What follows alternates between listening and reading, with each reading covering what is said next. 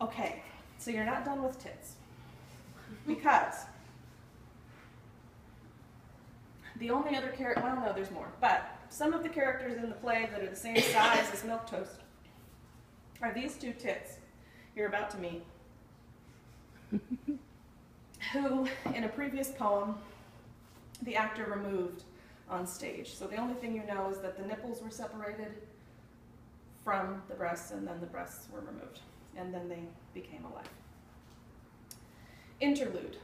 The tits dance their mournful dance. The tits are alone on the stage.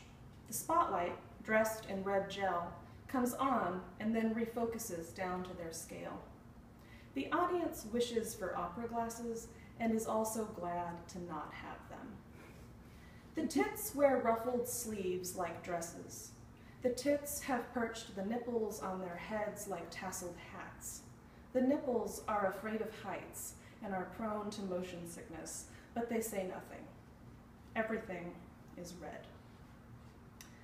The music would be good for bluesing, but the tits are dressed for a tango and they have little patience for the sink, sink, step, step of performed intimacy. The tits prefer the power of long strides.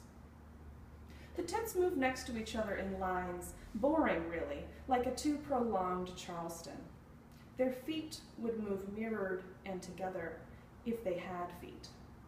As is, they scoot along the floor of the stage, the motion choppy and startling. The tits circle each other widely, then bump into one another when they come back together. They repeat this. They slowly take their distance, spin in their slow circles, then collide.